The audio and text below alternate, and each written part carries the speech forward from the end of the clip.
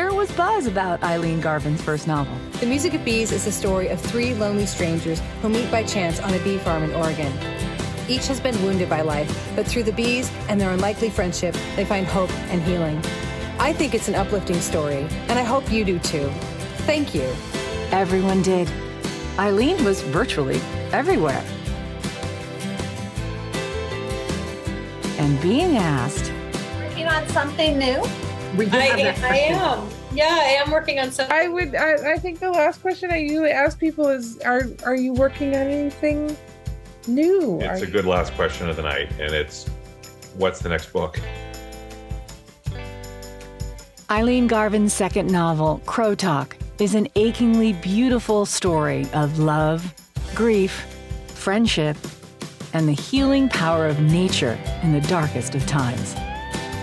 Nature that will look very familiar to the Spokane audience. Leading tonight's conversation is Spokesman Review columnist and fellow nature lover, Ami Midstokke. Please welcome Eileen Garvin to the Northwest Passages stage.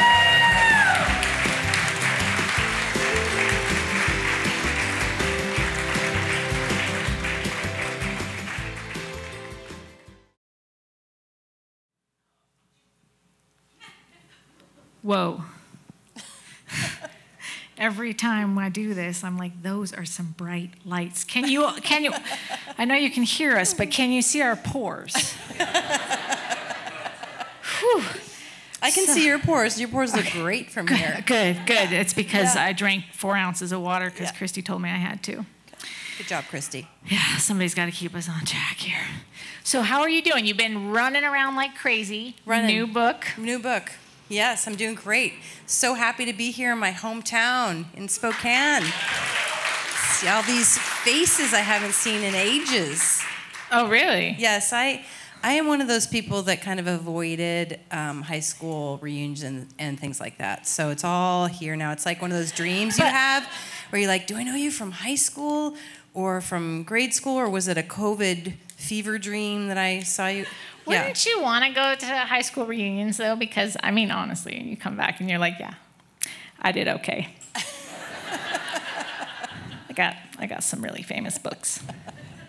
Well, I'll think about that next time. Yeah, Yeah, yeah, yeah. really, really. And let's go shopping together first too. Absolutely. Okay. Eileen is my new best friend. So back off any other people, all you all in the front row who think you're Eileen's best friend. Um, congratulations on this book. This is it's really just Thank you. Thank you. fantastic. Yes. I am biased because, uh, as noted, I love the outdoors, and I was so impressed and taken in by your words and your ability to linguistically like bring to life the mountains. And I am curious um, about your own experience there, like this this lake, your time in the woods. You talked about being a wannabe biologist. Tell me about that. There's um, many layers there, and I think that something that I forget to, to tell people, people often comment that they like the detail about the outdoors and the natural world, and, and why am I interested in that? And um, prior to writing The Music of Bees, I was working as a uh, writer for a custom publisher where I was doing a lot of travel and tourism writing. And a lot of that world, you are trying to describe a place that people haven't been to to try and encourage them to visit it. And I'm sorry, I'm a recovered travel and tourism writer. I don't want anyone to go anywhere anymore. Just stay home and enjoy your own place. But but it really was, you know, it, that's it, I, I had a lot of practice kind of evoking local detail. Um, the wannabe biologist part is that I have, um, I, I would say my family is divided in half humanities on one side and science on the other, and I'm, I'm definitely on the humanities side, but I've always very much admired my sciency relatives, and I have a lot of science friends, and um, I do not have a science brain. Uh, so, so writing an, uh, an ornithologist or in the music of bees when I wrote about beekeeping, it's kind of as close as I'm going to get to to living that life. I can inhabit it, that world through my characters. Ah, and you you definitely did. And how did you how did you pick on G. Gordon's book? Was that just sort of where you're like, oh yes, so this is where my research will start? Is Oh, are you referring to the the little quotes? Yeah. The, so the ch- for for those of you who haven't for those of you who haven't finished the book yet, I don't know what you were doing this week, but anyway. Um, the chapters thank you jennifer. The chapters start with little quotes that are i like to layer things in so the chapter i, I mean when, it, when i read a book and it just says chapter one then this happened i think missed opportunity. Give me a chapter title. So i always have a title that's got a clue. And then i like to use quotes. Um, i've done that with my, my two other books as well. And the idea was to use a source book um, for who, who's, who's an old an old source for, um, for detail about birds, North American birds. Um, as, uh, and, uh, as in comparison, to the music of bees, I used quotes from L.L. Langstroth, who is a 19th century beekeeper and invented the removable frame hive that we all use. Well, it was harder to find that kind of source book for this book. Audubon is actually pretty boring, not a very interesting writer. Um, so then I, I, we'll talk a little bit about the origin of the story, I think, later. But um, I took from our family lake cabin. Sorry, you guys, I'm bringing it back, but I borrowed this book that has been in the house um, for 50 some years, and um, it's a, it's a any birders here, any bird lovers here, a um, couple. So we have great guidebooks now, and we have we have apps and we have online stuff and, and old old guidebooks from the 70s they're terrible. The, the pictures are awful they're in black and white the script is tiny. But this book had kind of a talismanic feeling to me because it was at the family cabin.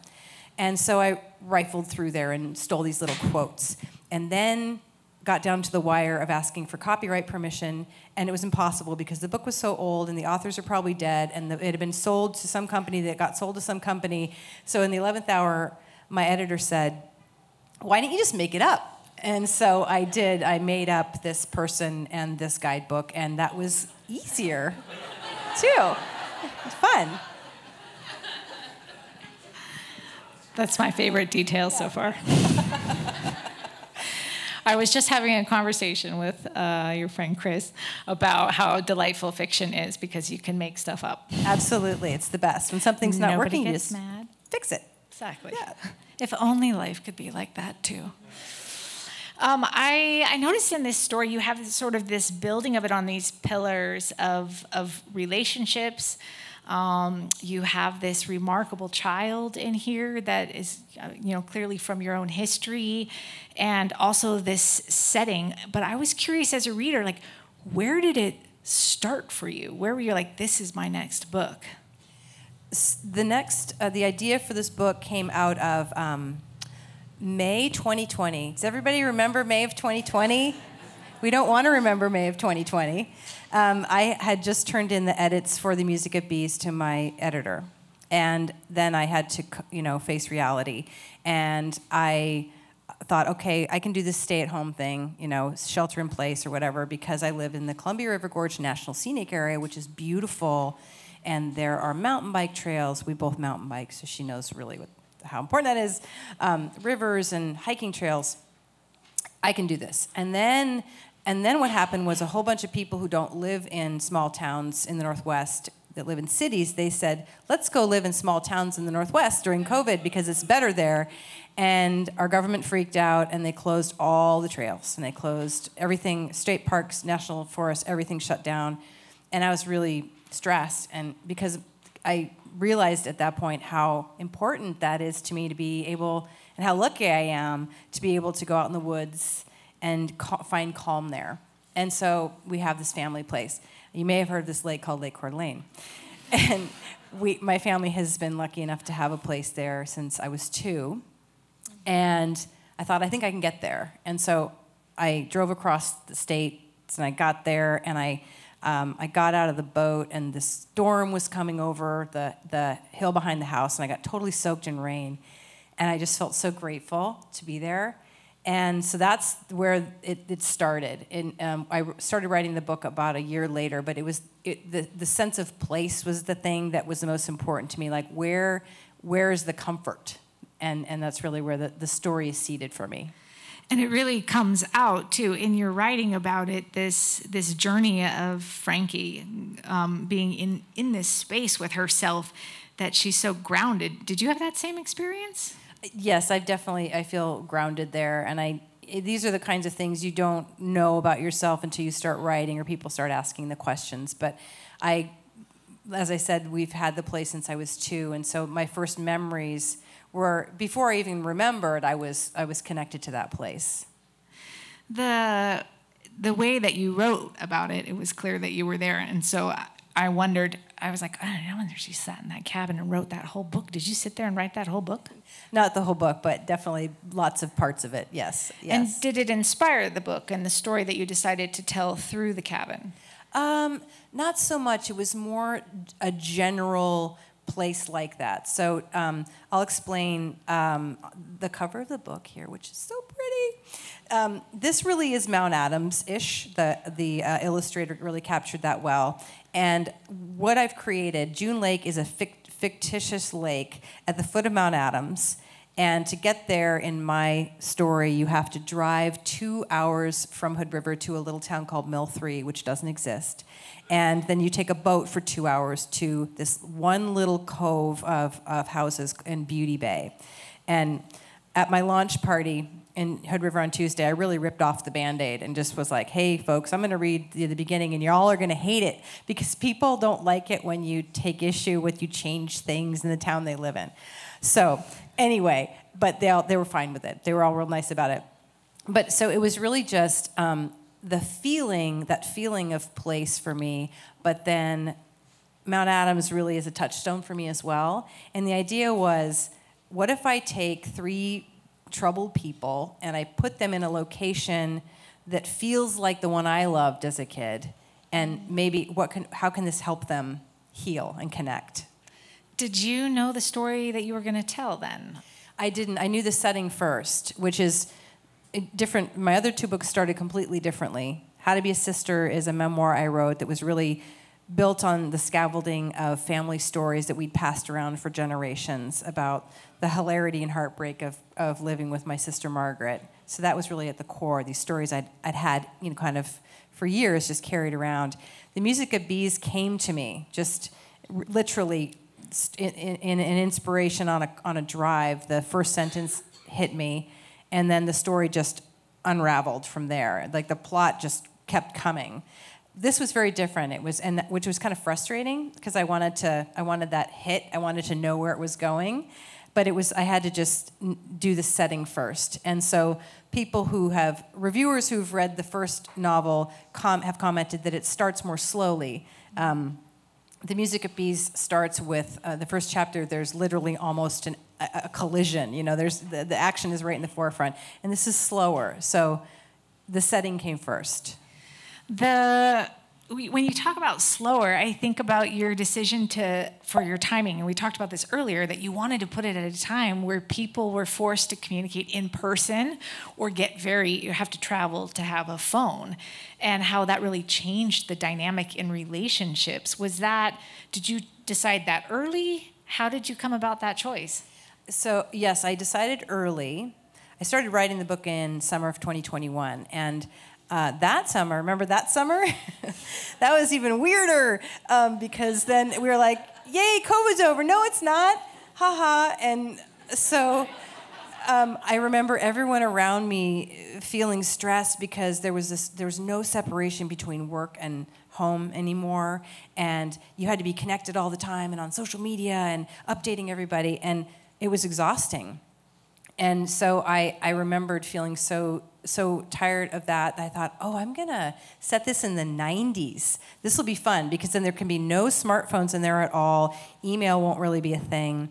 And as I described how far away this place is, you know, the two hour drive and then the two hour drive. So when my characters have issues, they have to deal with each other either in person or over the phone, over the payphone that you have to drive to, because there's no landline um, or through the U.S. mail, which I feel so romantic about. I mean, mm-hmm. the internet is great, but isn't it cool that you can like write a thing and put it in a box and then it goes across the country? Like that's pretty cool and ends up with somebody. I still, I still am a big fan of the postal service, and so that was fun. But then also, what it did for the story is it totally slowed everything down. So when people had conflict, they couldn't just try to fix it with a quick text message or something like that. They had to really be intentional about their their interactions with each other. Mm. The when you're talking about the post, um, I and you described those blue uh, airmail envelopes from Europe. I I spent a lot of time in Europe and traveling back and forth, and I remembered them, and there was such there was such a like tangible nostalgia to that, and I don't know about everybody else, but I really miss those days, the pre-smartphone days. We're gonna get back there one way or another.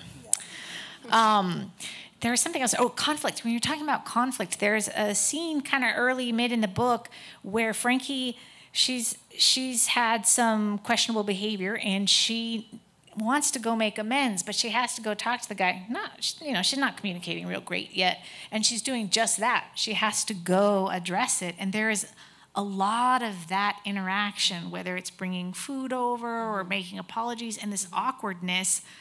I don't want to have you call any of your friends or family out here, but how did you learn about all those awkward interactions?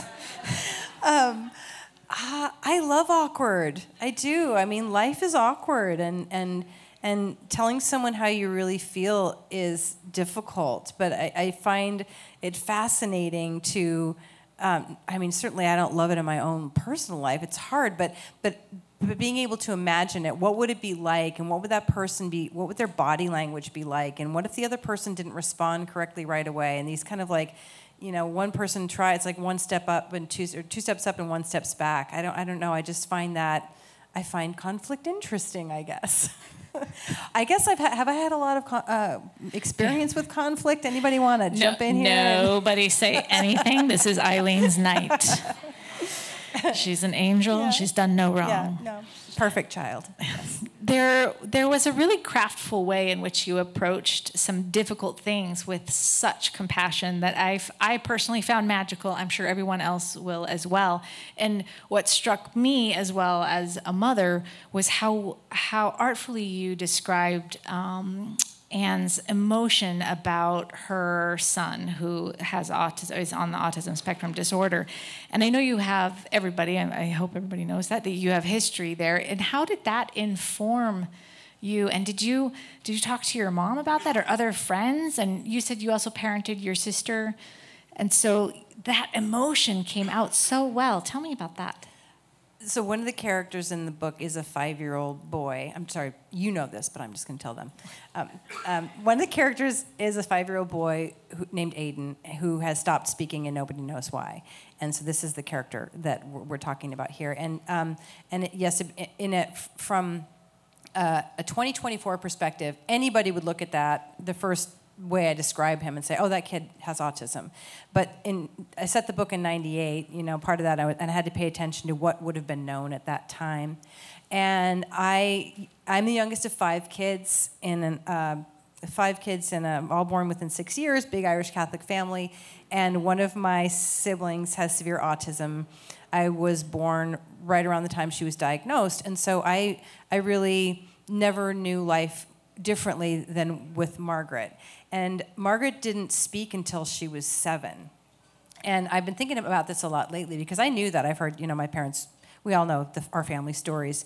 But, but as a kid, as I was often kind of her companion as the youngest girl helping helping out as, as often happens with girls and families and i have i don't remember thinking oh margaret doesn't talk i remember being feeling very close to her and always having a sense of what, or trying to understand what she needed and wanted. And so that's always been part of me. And when I created this character, taking him from being a, a, typically developing child and then having him stop speaking, that was kind of the lens with which I was trying to craft Aiden.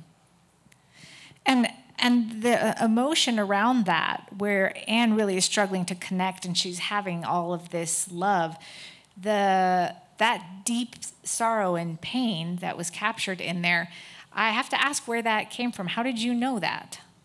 Well, uh, those of you who know me know I don't have kids. Um, you know I don't have kids. So I, I don't. I think I just, I have, I see my friends raising their children and just that impossibility of it. Like I had a friend say once, you know, ever since I had a kid, I feel like I have a hole open inside of me that's never going to heal again because you just can't. No matter how much you do, it's never enough, and it's never the right thing. And and for for um, Anne, she's a typical mom in a lot of ways that she's trying to connect and she she can't for whatever reason. And I know personally for me that is deeply rooted in my relationship with Margaret because I love her so much, but I can never know she knows.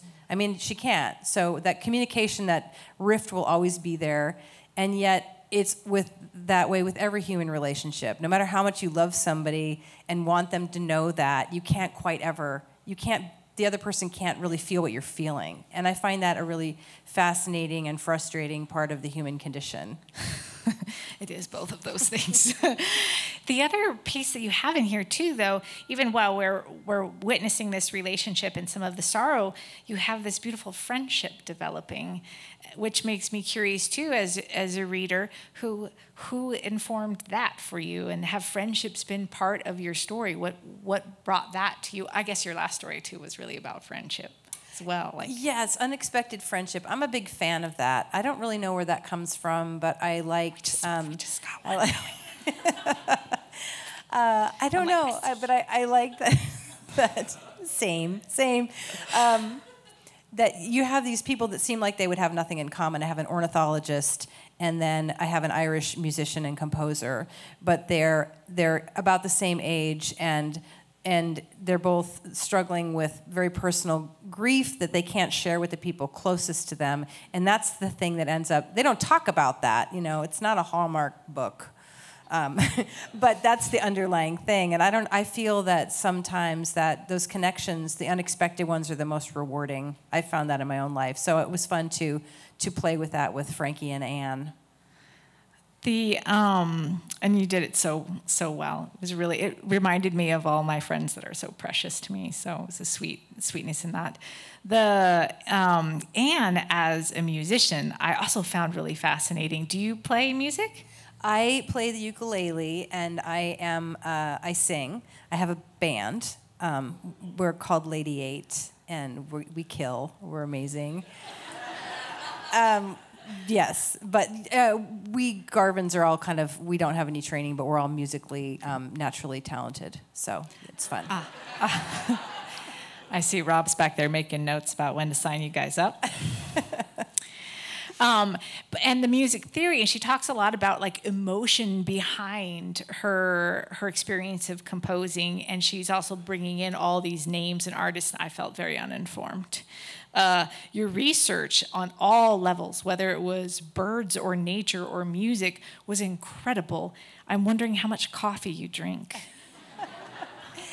I don't drink that much coffee, actually. I, oh, I, I, don't. I mean, I love coffee so much, and I really had to break up with coffee. I, I was trying. I was asking the bar earlier. The, my first question was like, "Do you have any caffeine?" I've been trying to get caffeine all day.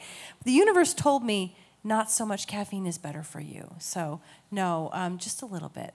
Yeah, healthy living goes a long way. Don't tell Rob. He's got like five energy drinks back there. The when you were writing this book, I know that in your in all those interviews, everybody was asking like, "What's your next project?" When you're when you're buried in in the beauty of something like this, do other ideas come to you that you think, "Oh, wait, this doesn't fit in this book, but I've got another one"? No, I kind of have a one track mind. I really do. I have had the experience in the past where I was writing two books at the same time and it was maddening. It really was. It was like my brain needed to spit them both out at the same time. And I would work on one until I got sick of it and then I work on the other one. But this, I really just kind of stayed in it. And, and then I, I felt like uh, I felt I think a lot of writers feel like this. You finish it and then you think, "Oh, I'll never do anything ever again. It's over. I feel terrible." Ah, it's like you broke up with somebody because now it's out of your hands.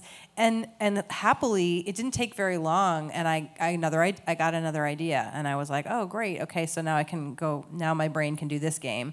Um, so yeah, I I think I if I find that I would find that frustrating if another idea came along because it's like. Uh, it's like another conversation that you don't have time to have right now.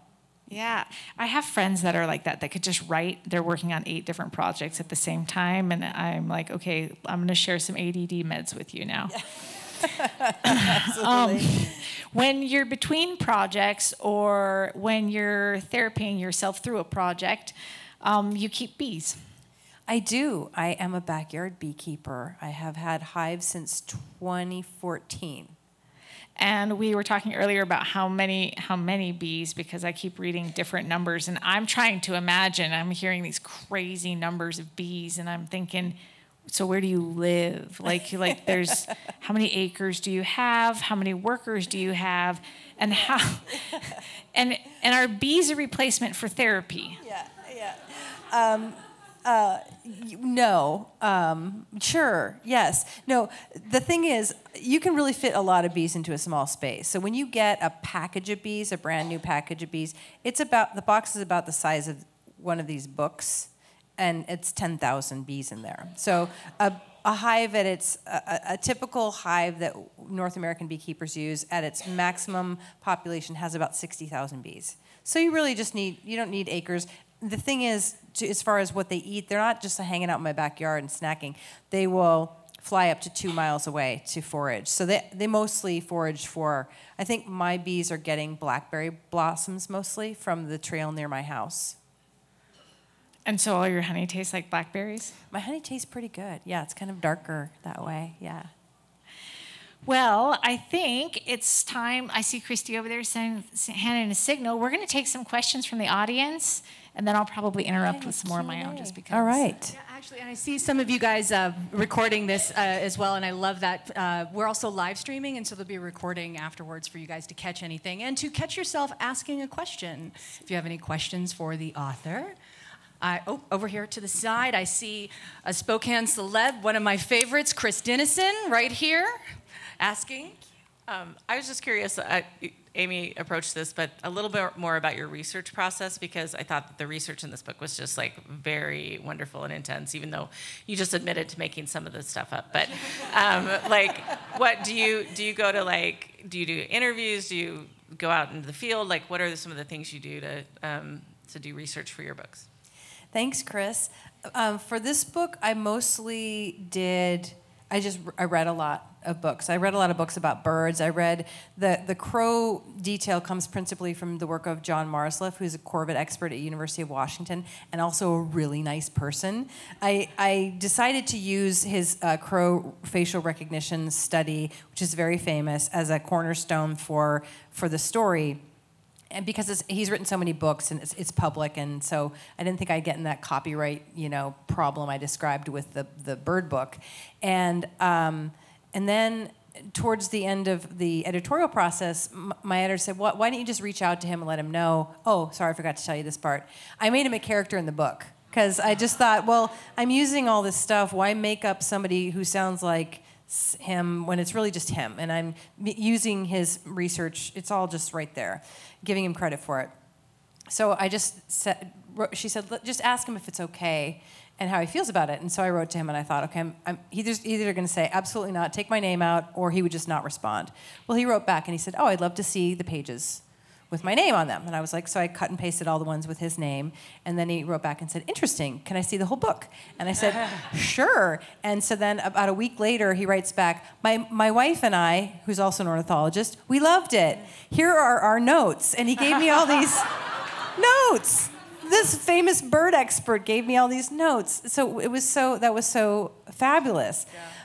But but also aberrant. Uh, most of my work with the bird stuff was was books. I read some fantastic um, science and also uh, naturalist essays for that piece. Um, and the rest of it, I can't really think about what sort of research I did. It was pretty atmospheric and just personal, you know, um, uh, Im- imagining the, the environment and things. Yeah. Yes, Don? Can I, can I ask a follow up question? Is this the gentleman that had research on the Burke Gilman Trail? Um, and the, and the, they took out a tree, and then these crows remembered the people that took it out. Oh, so I don't I don't know about that, but uh, what I'll tell you what you know stuff. What John Marzluff is known for, he and his graduate students captured and banded a few crows in the University of Washington Arboretum area while wearing caveman masks. And a friend reminded me they also did it with J- Dick Cheney masks. And then they went back to see if the crows re- remembered them. And uh, they went back just in their regular faces, and the birds ignored them. And then they put the masks on, and the birds uh, just erupted. They were so angry. And they went back week after week, month after month, year after year, these birds still remember those faces, which means that they not only remembered, but they taught their babies, they taught their peers, they spread the word all over campus. So I love that, and and it, and that by the same token, Marzluff has also written about how birds, uh, crows, and other corvids remember allies, so people who have helped them will will uh, there's one story about um, a woman helping a little bird that was just wounded. Just help it for a short period of time sheltered it from some other birds that were after it and it you know bring her presents and things. So yeah so um, but i don't know about that burt Kilman trail tree incident but i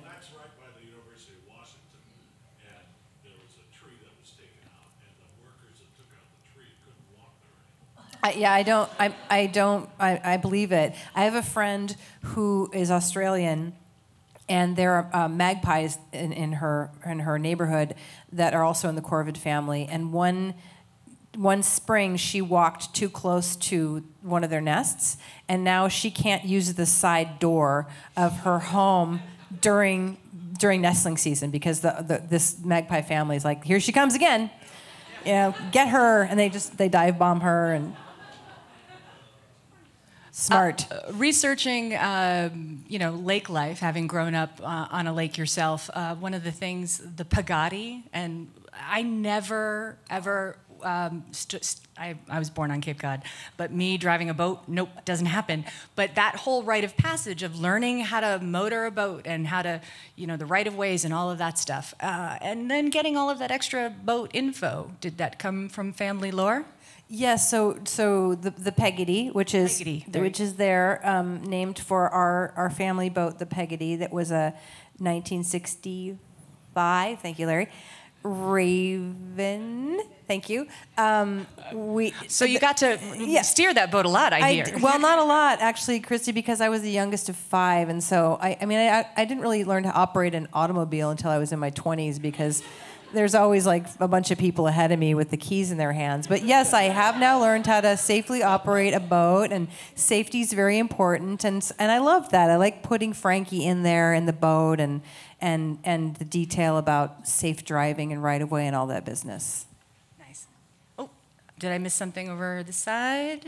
I had a question too while you're walking around. Okay. The um the you brought in a lot of lore about about crows and myth. Where did you find all that? Just just internet or like? No, so yes, yeah, so that is um, from my weirdly um, prolific collection of children's books for a person who has no children in her home. I love fairy tales. I love Grimm's fairy tales, Hans Christian Andersen, Neil Gaiman stuff, um, and I grew up. Uh, reading these. Um, I don't know how many of you have revisited your fairy tales in recent years. I mean, they're they're kind of creepy. There's some really the old ones are really there's all mean stepmothers doing really questionable things to children and a lot of neglect and things. But um, when I decided to, I use the fairy tales in the story um, as really spoiler alert. Um, it's really has to do with Aiden, and he he's not talking, but he's obsessed with his storybook, and he's trying to use it to to explain what's happening in his world and I, I knew I wanted to do that, and so I started looking back at all my old books, and I was, you know how it is when you start, you get your mind focused on something, and then you see it everywhere.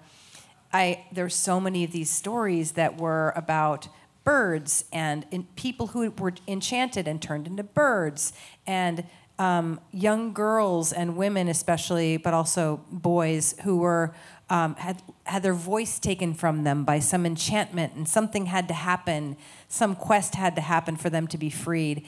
It was just everywhere. And so the ones that I picked in to use in, in the book, I've paraphrased, but they really are directly from all these sources that we all grow up reading. We grew up reading.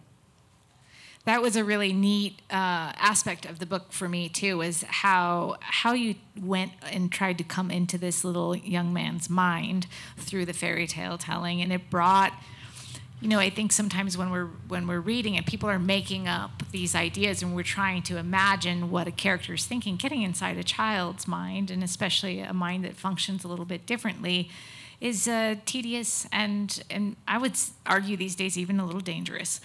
Um, but that was a, a really remarkable and and delightful way to do it, and also so empathetic.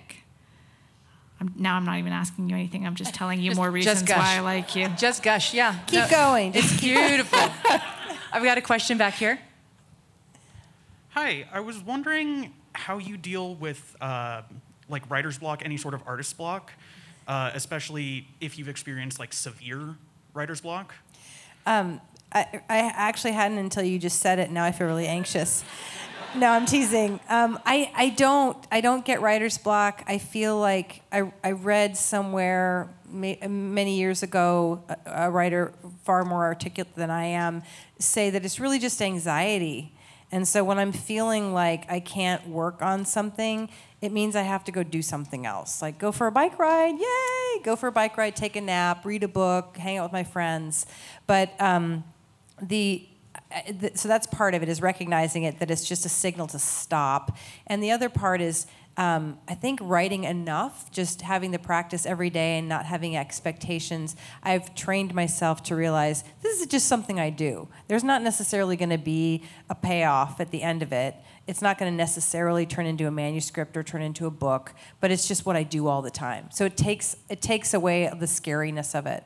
It becomes like a yoga practice. There's um, something I refer to as laundry writing, which uh, one of one of my great guides in life had taught me uh, years ago that that was part of my process, and having permission just to go and be like, go for the mountain bike ride and be like, oh, actually, I need to make some space for the stuff that's in there that's going to come back out. Are you a person who sits down every day and it's like nine o'clock, like, oh, it's time for me to go to work? I write when I'm working on a project. I work. I start every day at like six or six thirty, and yes, I, AM. AM. Yes, I wish I could work at night, but no, I can't. I can't do that. And I just I figured out that that is the time that my brain is ready to do the thing, and then I had to make a space for it, and and then it became just this thing I do. Um, but yes, you're absolutely right about. Did you call it laundry writing? Yeah. Yeah, the, the best ideas happen when I'm away from my desk. So you have to do that other stuff to mix up your brain to go have ideas and then come back and, and put them down on, on paper. How do you remember them? Well, sometimes, like with the music of bees, I, I, I literally got the first sentence for the novel on a car ride. And I'd been working as a reporter for years before that and then writing essays, personal essays. And I knew that, you know, I'll remember that when I get home. Mm, doesn't work. So I just pulled over. I always have pens everywhere and I just scribbled it down. So um, when, it's, when it's a really good idea like that, I will stop and scribble it down. When it's just um, a, a feeling, I just kind of ruminate on it for the run or the ride and, and then go back and write it down as soon as I get back to the house. Oh, uh, you have a follow up? I have a music question. You go. I actually had a music question too. Oh, Was it about all those the Irish music and composing and how that? No, you asked that question. Well, I'm, mine was far more self-serving. I loved the whole idea of taking you know the second uh, second choice of her music scholarship to come in and how she was writing music and the whole Irish lore of it. You said you came from a Irish family and you are a musical yourself, so that was is that the inspiration for Boom? She's gonna be an Irish lass with all of the answers for all of the things. That was my really bad brogue. Sorry. No, that's pretty good, Christy. I think that's pretty good. The Irish definitely was inspired by the family. Um, my great grandparents were immigrants. So my grandmother was a first generation, and we grew up, you know, just kind of with that that the feeling, listening to those stories. And her family, her parents started a cigar store during Prohibition, and then it became Ryan's Tavern, which operated it until 1964 about then. Thanks, mom. Let me off the hook. So um, yeah, so this this family, the the Irish comes from that, and the music is more akin to what I described about being a wannabe biologist. I'm I'm a I'm a musician, but I'm a I'm a small town amateur hack who sings with my girlfriends. Um, and but Anne went to you know music school and she composed with her friend and she got to come to America and go to Cornish and become a, a, a writer in residence there and that whole life that's a life that I don't have that I think would be extremely entertaining. You write about it like it's yours. Well, thanks. it's Yeah. lovely. Yeah, really, really. Maybe there's still time. Okay, you ask your selfish question there, Ami, and then if there's a. Uh, I wanted to know if you had a banjo in your band. No, no banjo. We have a cello though. Do you, do. but do you need a banjo? Oh, deeply need a banjo. Yes. Oh, this Okay, is getting I'll- really good. I'll learn how to play one then. It's my next project. There we go. All right, we have a. I think it's easy. It'll be fine. Oh, we have another question. I, I think you're going to be, um, you better start like working your hand because I think you're going to have a lot of notes to write in books soon. Yeah. Okay. I'll try with my left hand. I So that goes. appreciate your recognition um, that it was maybe the response more so to COVID that caused some of the crazy changes that we had to deal with, and that you actually had to leave your home or your house, let's say, to go back to your home, to your cabin, and and that was a major change probably from your normal writing style. And so, just curious logistically, what other changes in the publishing business did you have to overcome during that challenging time to get this book done? Well, um, you just made me think of something else. I'm going to answer a question you didn't ask me first, which is the biggest change to my writing life was that um, my neighbors were home all the time.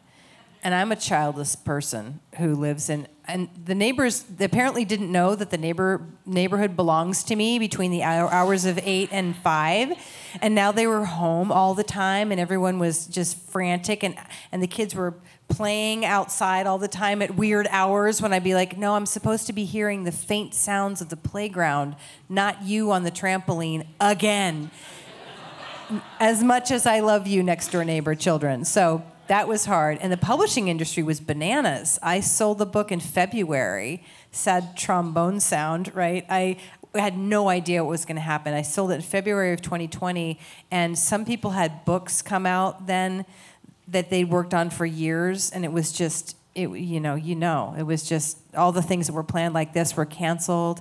So I was far enough. Um, my book came out in 2021, so by that time, people really. It was cool to see how the industry rallied and figured out Zoom and figured out how to do these things that were sort of a stopgap. Um, I got to do Northwest Passages Book Club Zoom with wonderful Chris, um, and that was I- was elated because I went from feeling like, "Yay, I got a book," you know, I'm going to get a book published, to thinking. I have no idea what'll happen. So um, it was a, a weird time, but um, I think the industry has found some creative solutions. Now there's hybrid things that happen where events like this can be in person, but sometimes like this one being broadcast for people who can't or don't want to be, you know, in, in large gatherings. So it's it's been a mixed blessing. Another question? Pardon me? So I don't You get know, I'm in uh, Idaho and we didn't have COVID. Oh, I heard that. You're so lucky. My, my town, we heard about it. We heard about it, but we, we prayed our way safe. Yeah. And, um, and then we served all y'all ice cream. Oh, wow. We have a lot to learn. We have a lot to learn, don't we? Yeah, I think, uh, I think we're learning it now. I am a Grammy, and I loved your reference as a Grammy. Um, I don't hear that very often. And then also, do you write better on paper or do you write better on the computer? Um, I thank you. I'm, I'm, I'm glad you love. I'm glad you are a Grammy. Grammys are the best. Um, I wish I wrote on paper. I used to, and I think it's there's something about. I, I still jour, I journal a lot, but I can barely read my own handwriting anymore. Um, there's something about the the physical feeling of pen on paper that connects with your brain. I'm sure someone way smarter than me has figured this out that is good for you or causes you to be more creative. But I can't. I can't keep up with my the pace of my thoughts, so I write on my computer. And also, it makes me think about how books used to get written with typewriters and things, or handwriting and then typewriters. And I mean, all of us here use the computer all the time. Cut and paste is just fantastic. Being able to reorganize your thoughts, I don't know how. I think that'd be very difficult. I had a, a friend I talked into going on a writing with, retreat with me, and she has a tech job. And so I, I was like, she said, Oh, should I just bring my journal and just handwrite? And I was like, Oh, yeah, no, yeah, just bring that. That'll be fine. And and every day we flipped a coin basically for who got to use my laptop. Question in the second row. So this is not book related, but this music. I know you have some family members here who I know a few of them. Do you feel like you could like finish with a song or a family music band? Oh, you guys want to do a medley? Totally. They would love that. Come on up, guys.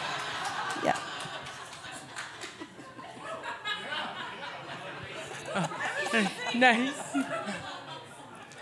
We can hang him up with a mic. It's all fine. Or we could ask the dreaded last question. You know what would be a really great question right now is, is you know, what, what, what's next? What, what are you working on next? I mean, are we, are we at that point, people?